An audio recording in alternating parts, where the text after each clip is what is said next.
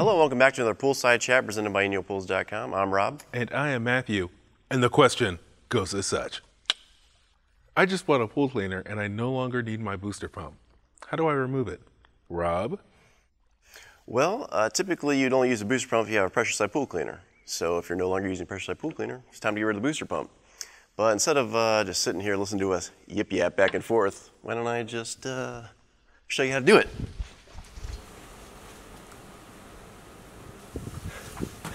All right, guys. Hope you weren't waiting too long. Let's get started. The reason why this pool owner is getting rid of their uh, booster pump is because they've switched to a robotic cleaner, so they no longer need this. Uh, but it's pretty simple to remove a booster pump. Uh, you have two lines, one going in, one coming out. This is on flexible uh, hose, so what you can do is unthread it here and unthread it up here, and we're going to thread in some plugs. And then the only other step you have to do is disconnect the power at the timer. Now before you do that, you want to make sure all the power is off, so cut it off at the breaker.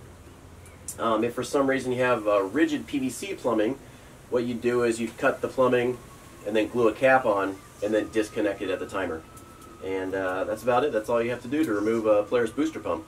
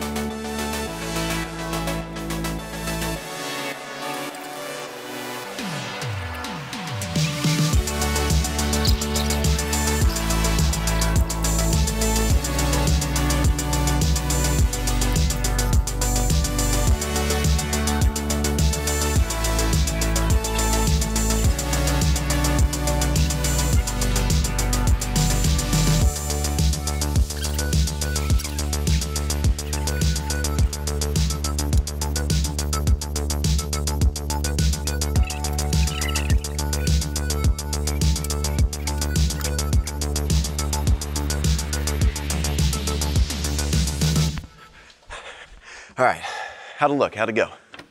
Uh, no one was paying attention. Oh, okay. Like most of our videos. But if you uh, are still watching, please uh, like and subscribe to this video. And if you have any questions about anything pool and spa, visit us over at inyopools.com. Thank you for joining us. Bye.